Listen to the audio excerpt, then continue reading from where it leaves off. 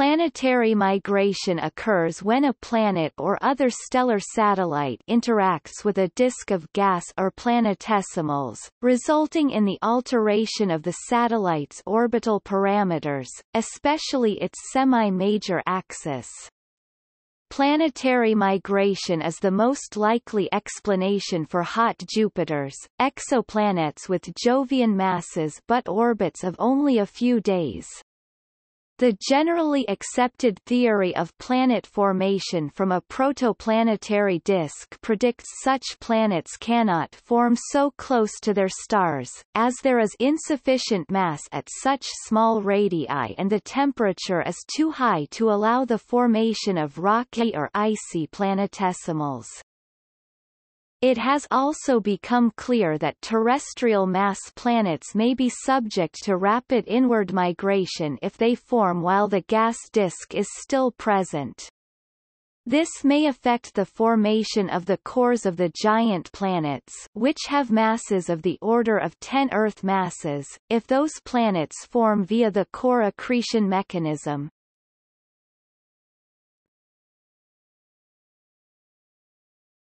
Topic: Types of disk.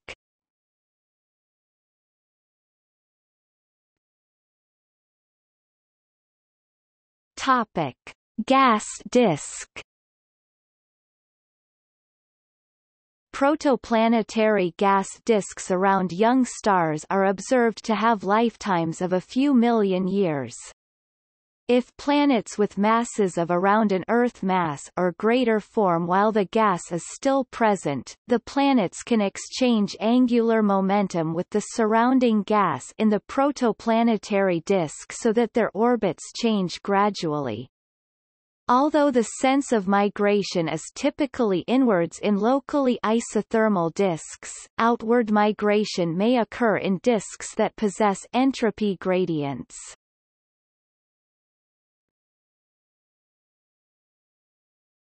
Topic: Planetesimal disk. During the late phase of planetary system formation, massive protoplanets and planetesimals gravitationally interact in a chaotic manner causing many planetesimals to be thrown into new orbits. This results in angular momentum exchange between the planets and the planetesimals, and leads to migration either inward or outward.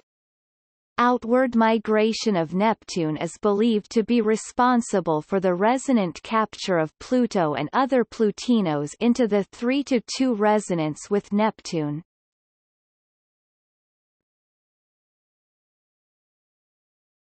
Topic. Types of migration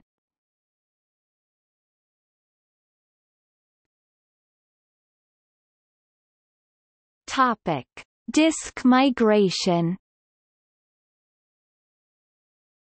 This type of orbital migration arises from the gravitational force exerted by a sufficiently massive body embedded in a disk on the surrounding disk's gas, which perturbs its density distribution. By the reaction principle of classical mechanics, the gas exerts an equal and opposite gravitational force on the body, which can also be expressed in terms of a torque. This torque alters the angular momentum of the planet's orbit, resulting in a variation of the orbital elements, such as the semi-major axis but all orbital elements can be affected. An increase over time of the semi-major axis leads to outward migration, i.e., away from the star, whereas the opposite behavior leads to inward migration.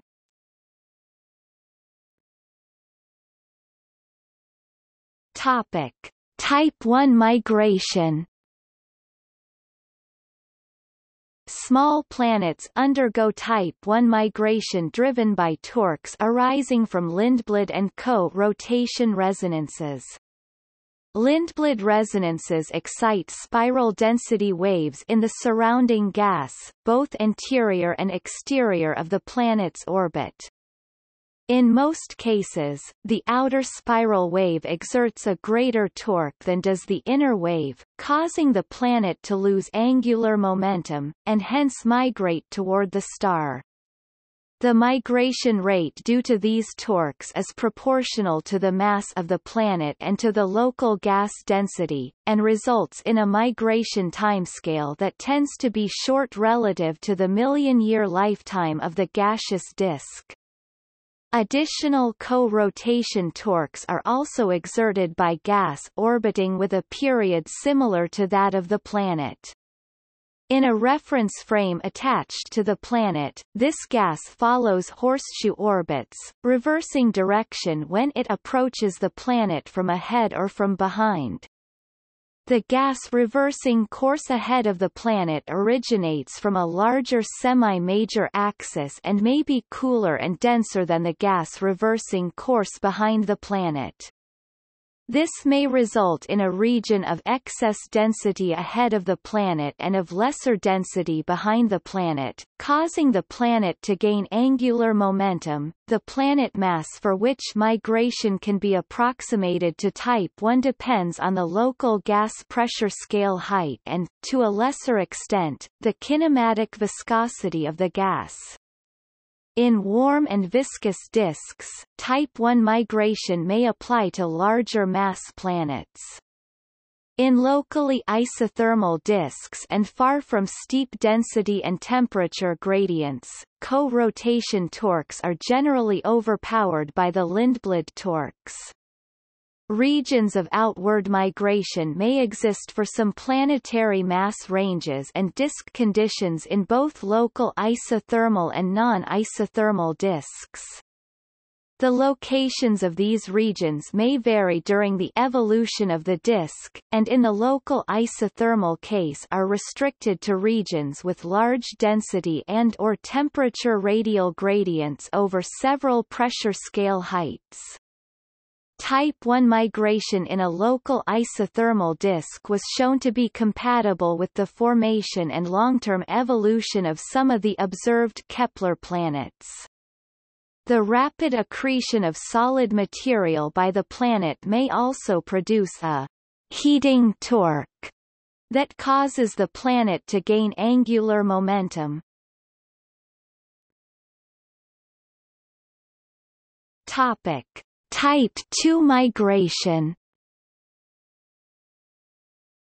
A planet massive enough to open a gap in a gaseous disk undergoes a regime of migration referred to as Type 2.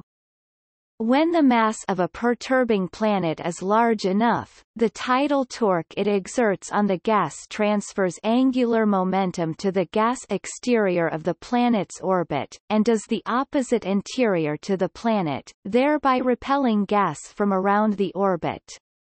In a Type 1 regime, viscous torques can efficiently counter this effect by resupplying gas and smoothing out sharp density gradients. But when the torques become strong enough to overcome the viscous torques in the vicinity of the planet's orbit, a lower density annular gap is created. The depth of this gap depends on the temperature and viscosity of the gas and on the planet mass. In the simple scenario in which no gas crosses the gap, the migration of the planet follows the viscous evolution of the disk's gas.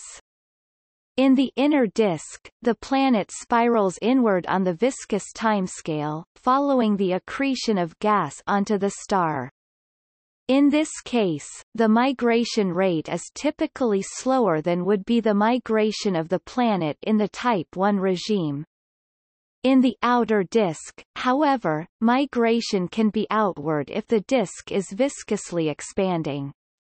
A Jupiter mass planet in a typical protoplanetary disk is expected to undergo migration at approximately the Type 2 rate, with the transition from Type 1 to Type 2 occurring at roughly the mass of Saturn. As a partial gap is opened, Type 2 migration is one explanation for the formation of hot Jupiters. In more realistic situations, unless extreme thermal and viscosity conditions occur in a disk, there is an ongoing flux of gas through the gap. As a consequence of this mass flux, torques acting on a planet can be susceptible to local disk properties, akin to torques at work during Type 1 migration.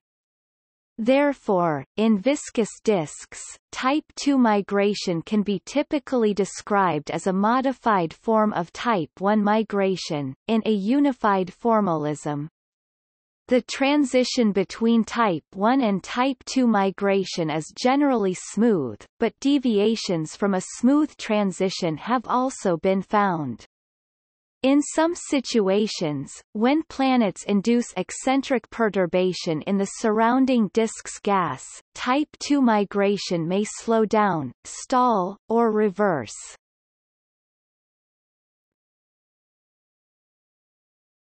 Topic. Type 3 migration This regime of migration applies to fairly extreme disk-planet cases and is characterized by extremely short migration timescales. Although sometimes referred to as runaway migration, the migration rate does not necessarily increase over time. Type 3 migration is driven by the co-orbital torques from gas trapped in the planet's libration regions and from an initial, relatively fast, planet's radial motion. The planet's radial motion displaces gas in its co-orbital region, creating a density asymmetry between the gas on the leading and the trailing side of the planet. Type 3 migration applies to disks that are relatively massive and to planets that can only open partial gaps in the gas disk. Previous interpretations linked Type 3 migration to gas streaming across the orbit of the planet in the opposite direction as the planet's radial motion, creating a positive feedback loop. Fast outward migration may also occur temporarily, delivering giant planets to distant orbits, if later Type 2 migration is ineffective at driving the planets back.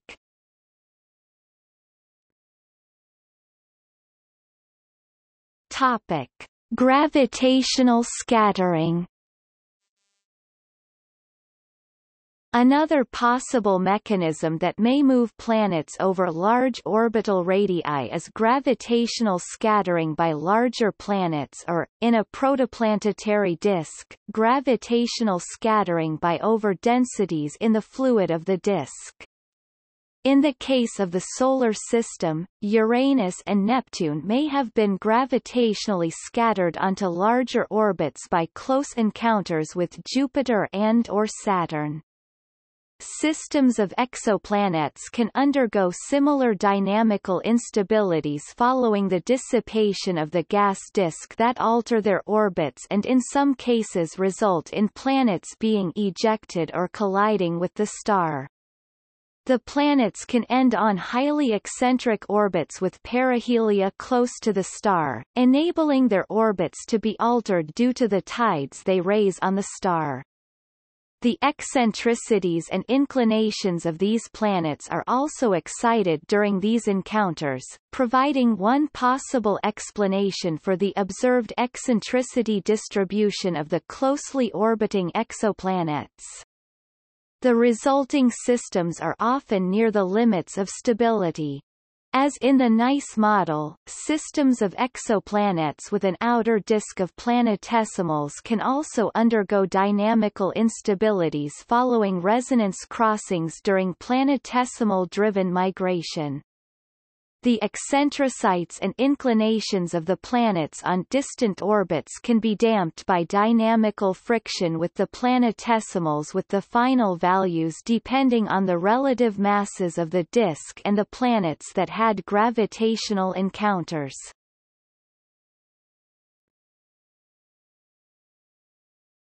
Topic. Tidal migration tides between the star and planet modify the semi-major axis and orbital eccentricity of the planet.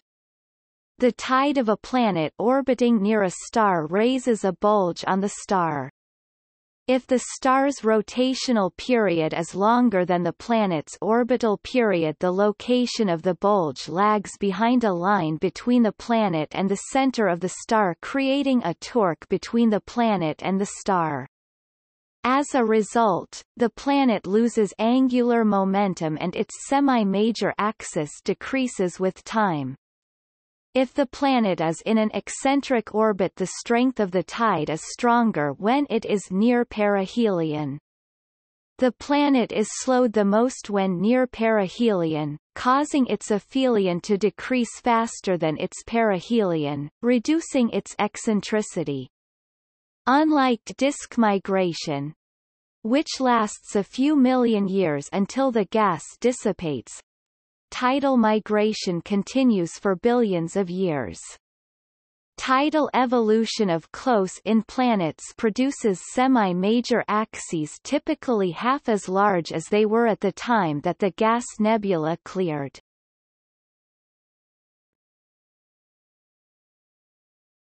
Topic. Kozai cycles and tidal friction A planetary orbit that is inclined relative to the plane of a binary star can shrink due to a combination of Kozai cycles and tidal friction. Interactions with the more distant star cause the planet's orbit to undergo an exchange of eccentricity and inclination due to the Kozai mechanism. This process can increase the planet's eccentricity and lower its perihelion enough to create strong tides between the planet on the star increases. When it is near the star the planet loses angular momentum causing its orbit to shrink. The planet's eccentricity and inclination cycle repeatedly, slowing the evolution of the planet's semi-major axis. If the planet's orbit shrinks enough to remove it from the influence of the distant star the Kozai cycles end. Its orbit will then shrink more rapidly as it is tidally circularized. The orbit of the planet can also become retrograde due to this process. Kozai cycles can also occur in a system with two planets that have differing inclinations due to gravitational scattering between planets and can result in planets with retrograde orbits.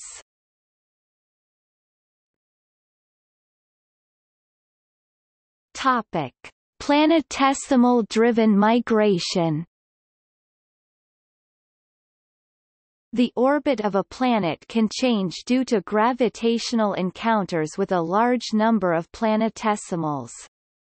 Planetesimal-driven migration is the result of the accumulation of the transfers of angular momentum during encounters between the planetesimals and a planet. For individual encounters the amount of angular momentum exchanged and the direction of the change in the planet's orbit depends on the geometry of the encounter. For a large number of encounters the direction of the planet's migration depends on the average angular momentum of the planetesimals relative to the planet. If it is higher, for example a disk outside the planet's orbit, the planet migrates outward, if it is lower the planet migrates inward. The migration of a planet beginning with a similar angular momentum as the disk depends on potential sinks and sources of the planetesimals. For a single planet system planetesimals can only be lost a sink due to their ejection, which would cause the planet to migrate inward. In multiple planet systems the other planets can act as sinks or sources. Planetesimals can be removed from the planet's influence after encountering an adjacent planet or transferred to its influence by that planet. These interactions cause the planet's orbits to diverge as the outer planet tends to remove planetesimals with larger momentum from the inner planet influence or add planetesimals with lower angular momentum, and vice versa. The planet's resonances, where the eccentricities of planetesimals are pumped up until they intersect with the planet, also act as a source. Finally, the planet's migration acts as both a sink and a source of new planetesimals creating a positive feedback that tends to continue its migration in the original direction. Planetesimal-driven migration can be damped if a planetesimals are lost to various sinks faster than new ones are encountered due to its sources or sustained if the new planetesimals enter its influence faster than they are lost. If sustained migration is due to its migration only it is called runaway migration, if it due to the loss of planetesimals to another planet's influence it its called forced migration for a single planet orbiting in a planetesimal disk. The shorter timescales of the encounters with planetesimals with shorter period orbits results in more frequent encounters with the planetesimals with less angular momentum and the inward migration of the planet. Planetesimal-driven migration in a gas disk, however, can be outward for a particular range of planetesimal sizes because of the removal of shorter period planetesimals due to gas drag.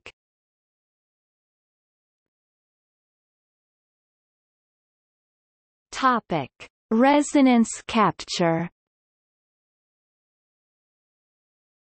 The migration of planets can lead to planets being captured in resonances and chains of resonances if their orbits converge. The orbits of the planets can converge if the migration of the inner planet is halted at the inner edge of the gas disk, resulting in a systems of tightly orbiting inner planets, or if migration is halted in a convergence zone where the torques driving Type 1 migration cancel, for example near the ice line, in a chain of more distant planets.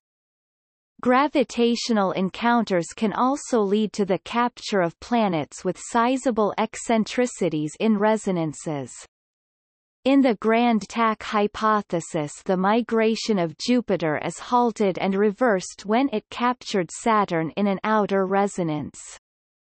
The halting of Jupiter's and Saturn's migration and the capture of Uranus and Neptune in further resonances may have prevented the formation of a compact system of super-Earths similar to many of those found by Kepler. The outward migration of planets can also result in the capture of planetesimals in resonance with the outer planet, for example the Plutinos in the Kuiper belt, although planetary migration is expected to lead to systems with chains of resonant planets most exoplanets are not in resonances. The resonance chains can be disrupted by gravitational instabilities once the gas disk dissipates. Interactions with leftover planetesimals can break resonances of low-mass planets leaving them in orbits slightly outside the resonance. Tidal interactions with the star, turbulence in the disk, and interactions with the wake of another planet could also disrupt resonances. Resonance capture might be avoided for planets smaller than Neptune with eccentric orbits.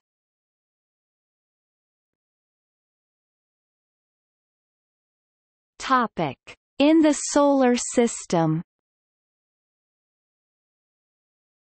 The migration of the outer planets is a scenario proposed to explain some of the orbital properties of the bodies in the Solar System's outermost regions. Beyond Neptune, the Solar System continues into the Kuiper belt, the scattered disk, and the Oort cloud, three sparse populations of small icy bodies thought to be the points of origin for most observed comets.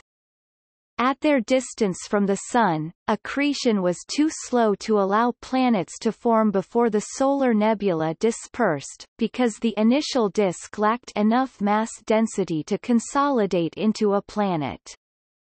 The Kuiper belt lies between 30 and 55 astronomical units from the Sun, while the farther scattered disk extends to over 100 astronomical units, and the distant Oort cloud begins at about 50,000 astronomical units. According to this scenario the Kuiper belt was originally much denser and closer to the Sun, it contained millions of planetesimals, and had an outer edge at approximately 30 astronomical units, the present distance of Neptune.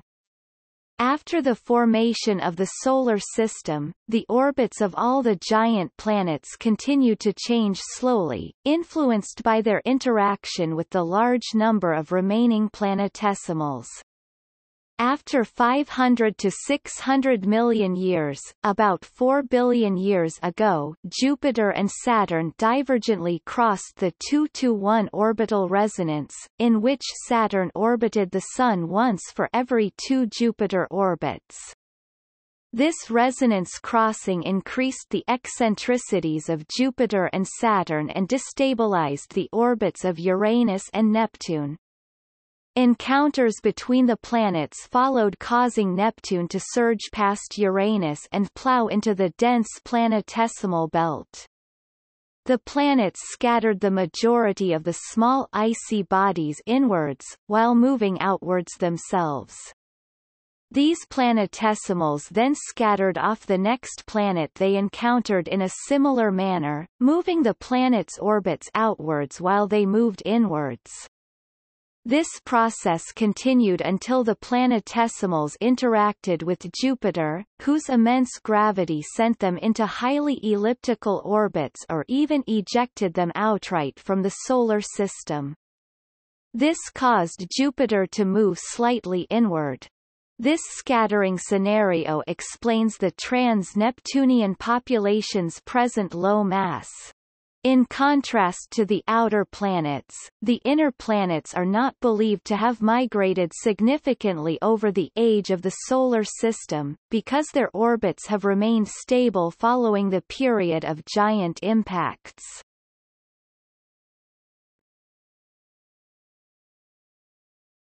Topic. See also Nebular hypothesis Rogue Planet equals equals notes